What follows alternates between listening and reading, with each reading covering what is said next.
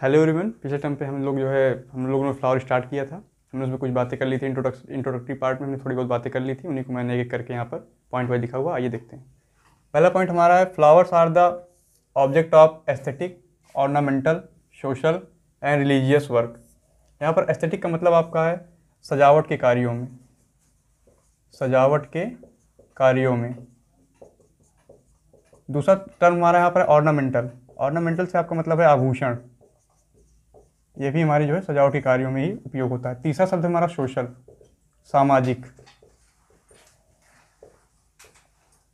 चौथा टर्म हमारा रिलीजियस इसका मतलब होता है धार्मिक। और वैल्यूज़ का मतलब होता है मूल्य। देखिए फ्लावर का जो हमारे जीवन में जो उसकी उपयोगिता है, वो हम कहाँ कहाँ देख सकते हैं? सजावटी कार्यों मान लीजिए हम कोई फ़ंक्शन करते हैं, अपने घर को सजाते हैं। आभूषण के तौर पर, सामाजिक कार्यों में धार्मिक कार्यों में, ये हमारे जो जीवन में, फ्लावर की जो है उपयोगिता है, इनके हम इस तरह से फ्लावर को उपयोग करते हैं। दूसरा पॉइंट हमारे यहाँ पर है flowers is the fascinating organ of angiosperm अब फैसिनेटिंग का मतलब समझिए फैसिनेटिंग का मतलब होता है चार्मिंग फैसिनेटिंग का मतलब होता है चार्मिंग चार्मिंग से तात्पर्य ये है कि मन मंत्र मुग्ध कर देने वाला। मंत्र मुग्ध कर देने वाला। मंत्र मुग्ध कर देने वाला। देखिए, हम जब भी प्लांट को ऑब्ज़र्व करते हैं उसमें हमें सबसे खूबसूरत चीज़ क्या दिखती है? वो है हमारा फ्लावर फ्लावर को देखकर हम थोड़ा सा आकर्षित होते हैं, उसकी तरफ़ जाते हैं। हम मन मंत्रमुग्ध होते हैं। हमें बहुत ही मतलब वो दृश्य हमें बहुत ही अच्छा लगता है फ्लावर में, प्लांट में जो है फ्लावर को देख करके। तीसरा पॉइंट हमारा जो है अकॉर्डिंग टू गोए थे हमारे एक साइंटिस्ट से गोए थे flower is a modified shoot देखिए मोडिफिकेशन का मतलब क्या होता है? परिवर्तन। मोडिफिकेशन मतलब होता है हमारा परिवर्तन। किसी अच्छे कार्य के लिए जो भी परिवर्तन होता है, उसे हम मोडिफिकेशन कहते हैं। देखिए प्लांट को जो है फ्लावर बनाने की ज़रूरत क्यों पड़ी? उसको सेक्सुअली प्रोडक्शन करना था, क्योंकि सेक्सुअली रिप्रोड्यूस करने के लिए जो ऑर्गन की जो ज़रूरत है वो हमारे जो फ्लावर में है। तो प्लांट ने जो है फ्लावर को बनाया। तो उसने कुछ मॉडिफिकेशन किए।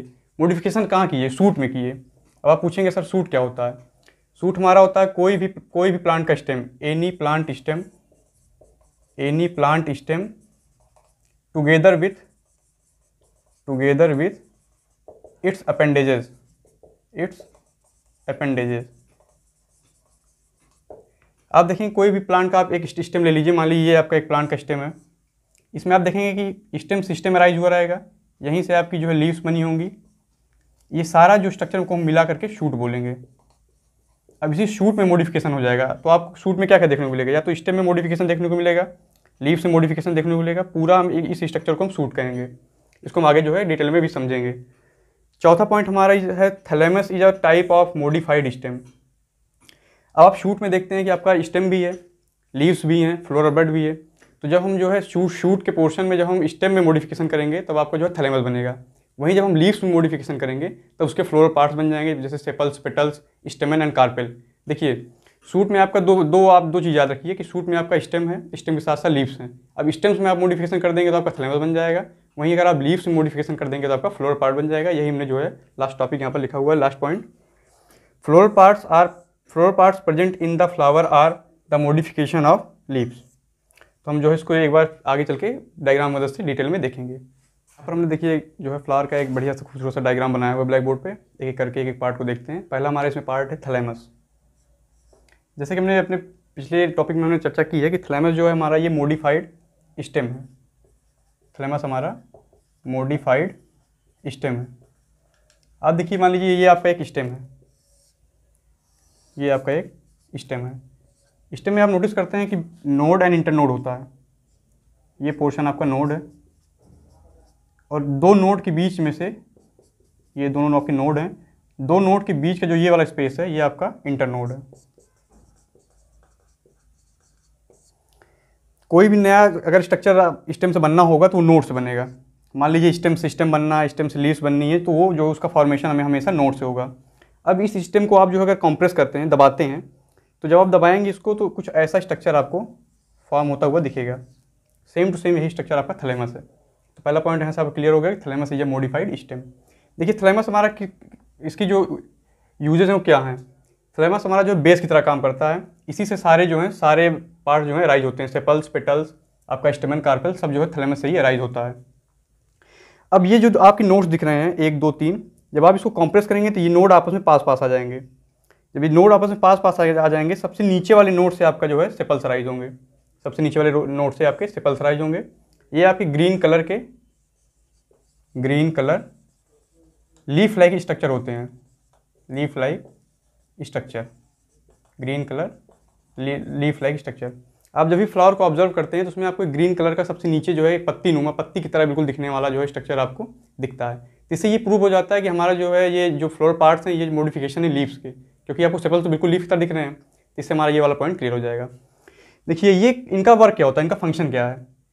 आप जब फ्लावर को ऑब्ज़र्व करेंगे बड स्टेज में बिल्कुल ढका हुआ फ्लावर ऐसे आज से आपको दिखेगा, बिल्कुल, उसमें आपको केवल सिपल्स के अलावा और कोई पार्ट आपको विजिबल नहीं होगा बाहर से। तो वहाँ पर जो मान लीजिए, बहुत तेज़ धूप हो गई डेसिकेशन से, मान लीजिए ड्राई होने से फ्लावर को बचाता है मैकेनिकल इंजरी से बचाता है, मान लीजिए बहुत हवा चली फ्लावर फ्लावर आपस में टकरा गया या फ्लावर स्टेम से टकरा गया, उससे मैकेनिकल इंजरी हो जाएगी। अंदर के जो उसके ऑर्गन है, वो सब डैमेज हो जाएँगे। Male reproductive part and female reproductive part जो है डैमेज जाएँगे। तो वहाँ पर जो प्रोटेक्शन का काम हमारा जो है सिपल्स करता है। तो ये हमारा जो है एक डिफेंसिव ऑर्गन डिफेंसिव ऑर्गन है फ्लावर का। दूसरा हम यहाँ पर लेंगे पेटल्स आप जब भी फ्लावर को ऑब्ज़र्व करते हैं तो उसकी आप ब्यूटी की तरफ़ आकर्षित होते हैं। वो सारी ब्यूटी आपकी जो है पेटल्स से है। पेटल्स हमारे कलरफुल हैं। पेटल्स हमारे जो है कलरफुल हैं। तो उनकी सारी ब्यूटी जो है पॉलिनेटर जो है अट्रैक्ट करती है। इनका मेन फ़ंक्शन है कि पॉलिनेटर जो है उनको अट्रैक्ट करेगी। मान लीजिए अगर एंथर से पॉलन ग्रेन उठ करके स्टिग्मा पर लैंड नहीं होंगे तो फर्टिलाइजेशन हो कैसे? तो तो सेक्सुअल प्रोसन हो ही नहीं पाएगा। तो उसके लिए जो हमारे मेन जो मेन हमारा जो पार्ट है, वो है हमारे पेटल्स ये जो है पॉलिनेटर्स को अट्रैक्ट करेंगे। मान लीजिए हनी वी का एग्ज़ाम्पल लीजिए। एक बहुत ही नॉर्मल सा पॉलिनेटर है आपके सराउंडिंग में। तो ये जो है, इसके कलर को देख करके पेटल कलर कलर को देख करके इनकी तरफ़ आकर्षित होते हैं। तो जो है पॉलिनेशन हो, आगे होता है। पॉलिनेशन जो है, एक अलग से टॉपिक है, उसको आगे जो है, आने वाले लेक्चर्स में डील करेंगे। तो आपका पेटल्स हो गया। तो यहाँ पर हम इसको लिख लेते हैं। कलरफुल पार्ट कलरफुल पार्ट इसका जो फ़ंक्शन है attract pollinator attracts pollinators attracts pollinator तीसरा पार्ट हमारा यहाँ पर स्टेमन। अब स्टेमन देखिए, दो पार्ट मिलकर बना हुआ है। पहला है एंथर दूसरा है फिलामेंट हम एक एक जो है, अलग से स्टेमन का स्ट्रक्चर बना रहे हैं। आप देखिएगा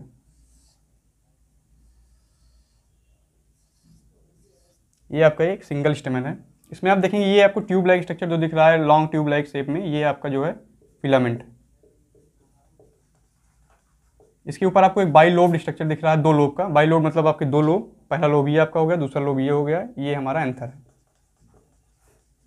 पॉलन ग्रेन्स का जो डेवलपमेंट होता है, वो हमारे एंथर में होता है। तो ये हमारे जो है, ये रिप्रोडक्टिव पार्ट है। देखिए फ्लावर का जो चारों पार्ट है, उनको हम दो कैटेगरी में डिवाइड कर सकते हैं। पहला हमारा वेजिटेटिव पार्ट दूसरा रिप्रोडक्टिव पार्ट तो हमारे वेजिटेटिव पार्ट में क्या क्या आ गए? यहाँ पर हम लिख लेते हैं एक बार। Vegetative part vegetative part vegetative part में हमारा आ जाएगा सेपल्स एंड पेटल्स वहीं आपके रिप्रोडक्टिव पार्ट में reproductive part reproductive part में आपके आ जाएँगे? स्टेमन एंड कार्पेल अब देखिए वेजिटेटिव का पार्ट का डायरेक्टली तो कोई रोल नहीं है हमारे जो है रिप्रोडक्शन में। देखिए इनडायरेक्टली रोल है।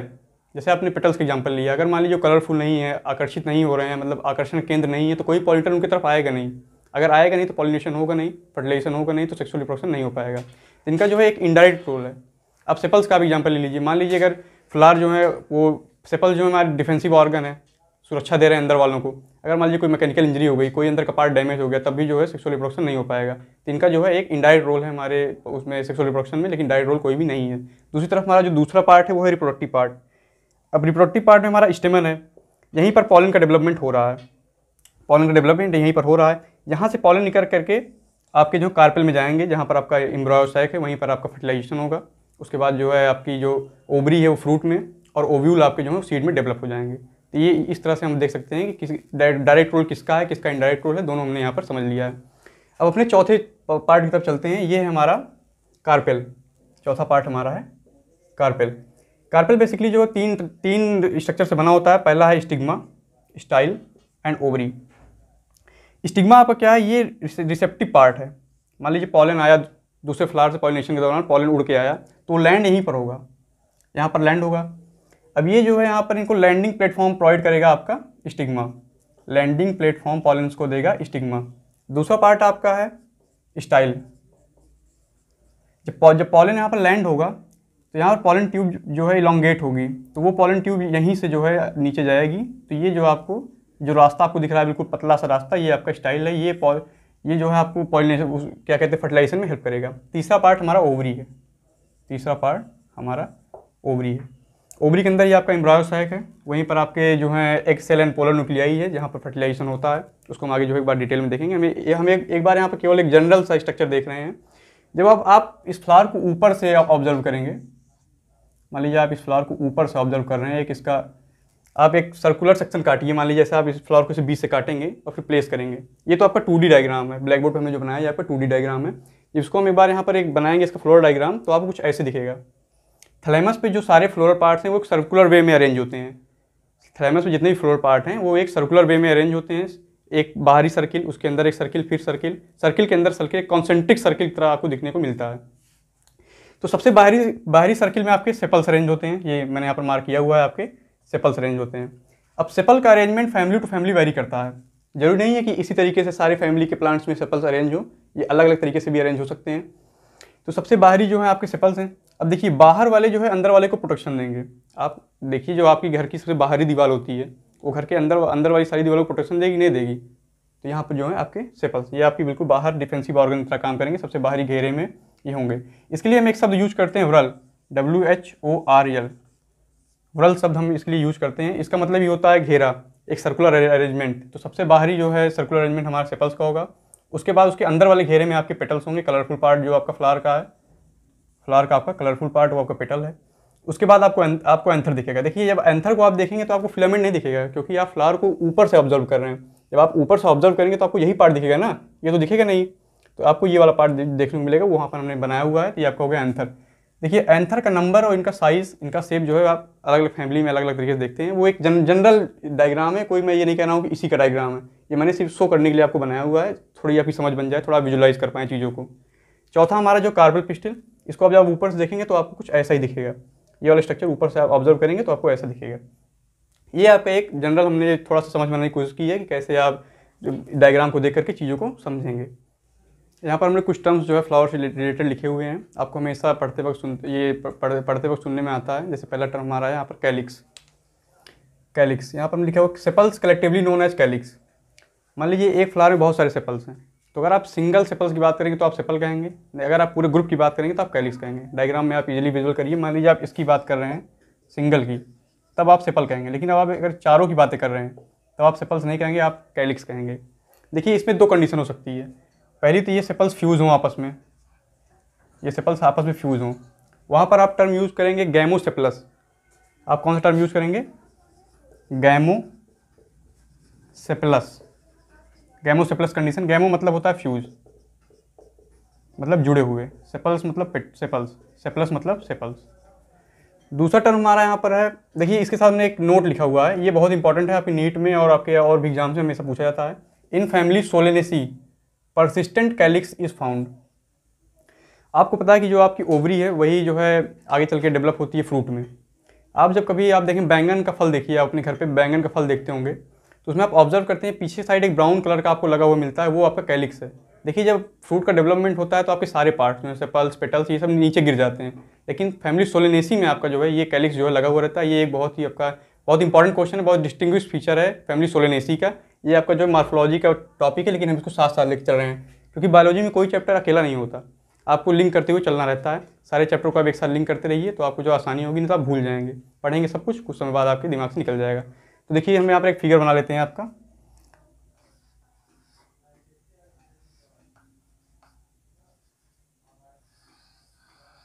ये आपका जो है, बैंगन का फल है। ये पार्ट आप यहाँ पर देखते होंगे ब्राउन कलर का। ब्राउन कलर ब्राउन कलर का आपका जो पार्ट है, ये आपका जो है कैलिक्स ये जो है लगा हुआ रहता है फ्रूट के डेवलपमेंट के दौरान। ये आपका जो है पर्पल कलर का ओरिजिनल जो आपका फ्रूट है। दूसरा टर्म हमारे यहाँ पर है corolla petals are collectively known as corolla आप यहाँ ये फिगर में देख पा रहे हैं, ये आपके पेटल्स हैं। एक, दो, तीन, चार चार नंबर मैंने मेंशन किया है। अगर आप इसकी सिंगल की बात करेंगे, तब आप पेटल्स कहेंगे। लेकिन जब आप चारों को मिला करके बात करेंगे तो आप जो है उसको कभी पेटल्स नहीं कहेंगे। आप यहाँ पर टर्म यूज़ करेंगे। करोला एक स्टैंडर्ड टर्म है। आपको अक्सर पढ़ने मिल जाएगा। तो यहाँ पर हमने डिफिनेशन लिखी हुई है। Petals collectively known as corolla इसमें एक पॉइंट ऊपर था कि outermost whorl of flower whorl का मतलब मैंने आपको बताया था घेरा। क्योंकि थलैमस पे जो है सारे पार्ट जो है घेरे में बने हुए रहते हैं। तो सबसे बाहरी घेरा जो आपका है वो है सेपल्स का। तो आप यहाँ पर इजीली विजुअल कर पा रहे हैं कि आपका सबसे बाहरी घेरा सेपल्स का है। ये आपके पॉइंट क्लियर हो गए सारे। ये आपको जो है याद रखना है, इसको आपको भूलना नहीं है। अक्सर आपको पूछा रहेगा, हमेशा पूछा जाता रहता है। दूसरा पॉइंट यहाँ पर है सेकेंड रोल ऑफ़ फ्लार बाहर से। बाहर से आप देखेंगे तो दूसरे नंबर पर आपको जो घेरा दिख रहा है, ये आपके जो है पेटल्स के घेरे हैं। ये जो है अंदर वालों को प्रोटेक्शन देंगे। सेपल्स इसके अंदर वालों सेपल जो है पेटल्स को प्रोटेक्ट करेगा पेटल्स इनके अंदर वालों को। ये आपको हो गया, ये दोनों पॉइंट आपको क्लियर तीसरा है आपका androecium stamen collectively known as androecium जैसे मान लीजिए बहुत सारे स्टेमन है एक फ्लावर में तो आप सिंगल स्टेमन की बात करेंगे, तब तो आप स्टमन कहेंगे. लेकिन आप जब कलेक्टिवली बात करेंगे तो एक आपकी मतलब समझ लीजिए पूरा फ़ंक्शन करेगा, पूरा ग्रुप आपका जो है, वो जो है एंड्रोशियम कहलाएगा. तो एंड्रोशियम की एक सिंगल यूनिट जो है आपकी स्टेमन है. मान लीजिए इन चारों को मिला करके आप जो है एंड्रोशियम कह रहे हैं. लेकिन अगर आप इसकी बात करेंगे सिंगल की, तब आप जो है यहाँ पर स्टेमन कहेंगे. अगर आप चारों की बातें करेंगे तो आप यहाँ पर एंड्रोशियम कहेंगे. Stamen collectively known as androecium third whorl of flower बाहर से आप देखेंगे तीसरे घेरे में। पहला घेरा, दूसरा घेरा। तीसरे घेरे में आपके जो ये स्ट्रक्चर अरेंज हैं, ये आपके जो हैं, क्या कहते हैं एंड्रोशियम है। मतलब स्टेमन है, ये अरेंज है एक घेरे में। चौथा चौथा आपका टर्म यहाँ पर है gynoecium carpel collectively known as gynoecium देखिए, ज़रूरी नहीं कि एक फ्लावर में एक ही कार्पेल हो। एक से ज़्यादा भी होते हैं। अगर वो कलेक्टिवली आप एक पूरा ग्रुप बनाकर बात करेंगे, तब वहाँ पर आप टर्म यूज़ करेंगे गायनोशियम सिंगल आप कहेंगे, देखिए मोनो कार्पेलरी भी हो सकता है फ्लावर मल्टी कार्पेलरी हो सकता है। ये डिपेंड करता है फैमिली टू फैमिली कैसे वेरी कर रहा है फ्लावर कौन सी फैमिली की बात हम कर रहे हैं। तो यहाँ पर हमने एक जनरल स्ट्रक्चर बनाया हुआ है। तो यहाँ पर आपको देखिए मोनो कार्पेलरी दिख रहा है। लेकिन ज़रूरी नहीं कि ये सिंगल ही हो, एक से ज़्यादा होंगे। अगर एक है तो आप यहाँ पर कार्पेल कहेंगे, एक से ज़्यादा हैं तो उनको आप जो है, या आप यहाँ पर एक टर्म यूज़ करेंगे स्टैंडर्ड टर्म है गायनोशियम हम जो है फ्लॉर रिलेटेड अपना चौथा टर्म पढ़ने वाले हैं। इसका नाम आपका है इनकम्प्लीट फ्लावर इसमें हमने एक एक डिफिनेशन लिखी हुई है। One or more than one part or is absent मान लीजिए अगर आपके फ्लावर के चारों पार्ट हैं। सेपल्स भी हैं पेटल्स भी हैं एंडोशियम है गानोशियम चारों पार्ट हैं, तब तो आप कहीं कंप्लीट फ्लावर है। पूरी तरह से फ्लावर आपका कंप्लीट है, सारे फंक्शनली सारे पार्ट आपके हैं। लेकिन अगर उसमें से एक भी गायब हुआ या एक से ज़्यादा गायब हुए, तब हम जो टर्म यूज़ करेंगे वो आपका है इनकम्प्लीट फ्लावर ये आपका चौथा टर्म है। पाँचवा टर्म हमारा है complete flower all the floral parts are present सारे फ्लोर पार्ट्स अगर प्रेजेंट हैं तो आपका फ्लावर कंप्लीट है, बिल्कुल फंक्शनल है, बिल्कुल अच्छा फ्लावर है, आप उसको मान सकते हैं। इसमें आपके sepals petals stamen and carpel आपके चारों पार्ट जो है प्रेजेंट होंगे। जैसे मान लीजिए आपका sepals petals stamen and carpel आपके चारों पार्ट जो है, ये आपका कंप्लीट फ्लावर का एग्ज़ाम्पल है। छठा आपका यहाँ पर जो टर्म है, ये क्लिस्टोगैमस फ्लावर देखिए, ये टर्म आपका यूज़ होगा पॉलिनेशन में। जब हम पॉलिनेशन डील करेंगे तो हम देखेंगे क्लिस्टोगैमस फ्लावर का क्या मतलब क्या इसका सिग्निफिकेंस है पॉलिनेशन में। तो इसको आप समझिए flower is not fully matured unexposed flower present in bud stage आप देखते होंगे जब फ्लावर का डेवलपमेंट आप अपने घर के आसपास नोटिस करते होंगे तो पहले एक बड स्टेज आती है। इसमें आपको सिर्फ़ सेपल्स ऐसे ऐसे करके स्ट्रक्चर आपको मिलेगा इसमें आपका कोई पार्ट विजुअल नहीं होगा, सिर्फ़ आपको सेपल्स दिखेंगे। तो वो आपका फ्लावर जो है क्लिस्टोगैमस है। इसका क्या सिग्निफिकेंस है ये हम देखेंगे आपके पॉलिनेशन में। वहाँ पर हम ये ये टर्म आपका दोबारा लेंगे, तब इस पर डिटेल चर्चा वहाँ पर करेंगे। सातवां टर्म आपका है चेजमोगैमस फ्लावर देखिए, जब फ्लावर आपका फुली डेवलप्ड हो फ्लावर आपका फुली डेवलप्ड एंड एक्सपोज हो। देखिए फुली डेवलप्ड का मतलब क्या है कि आपके सारे पार्ट जो है विजुअल हैं, आप बाहर सारे पार्ट को देख करके आइडेंटिफाई कर पा रहे हैं कौन सा सेपल है, कौन सा पेटल है, कौन सा स्टेमन है, कौन सा कार्पेल है। तब वो फ्लावर आपका जो है चैजमो चेजमोगैमस फ्लावर है, वो एक्सपोज है। आपकी इन्वायरमेंट से चारों उसके चारों पार्ट जो है आप बाहर से देख पा रहे हैं। यहाँ पर हमने एक फिगर बनाया हुआ है। आप यहाँ पर देख रहे हैं कि ये आपका जो है सेपल है। सेपल आपकी ये पेटल ये आपका स्टेमन और ये आपका जो है कार्पेल तो चारों पार्ट आप जो है बाहर से विजुअल कर पा रहे हैं। ये आपका चैजमोगैमस फ्लावर है। ये आपका क्लिस्टोगैमस फ्लावर है, जिसमें आप कुछ भी नहीं देख पा रहे हैं, सिर्फ़ आपको ग्रीन कलर का बाहर से सेपल विजुअल होगा। ये हमारे सारे टर्म जो है फ्लावर रिलेटेड खत्म हुए। हमने फ्लावर को पहले उसकी जो है एक भावनात्मक बिंदु पर चर्चा की, जो एन मेंशन है। उसके बाद हमने सारे पार्ट्स को डिटेल में देखा, उसके फ़ंक्शन देखे, उसके बाद जो टर्म्स रिलेटेड थे उसको देखे। अब हम नेक्स्ट नेक्स्ट लेक्चर में हम शुरू करेंगे। एंथर हम जो है पढ़ना शुरू करेंगे। चलिए ठीक है, तब तक के लिए आप लोग पढ़ते रहिए, अब रिवाइज रिविजन करते रहिए।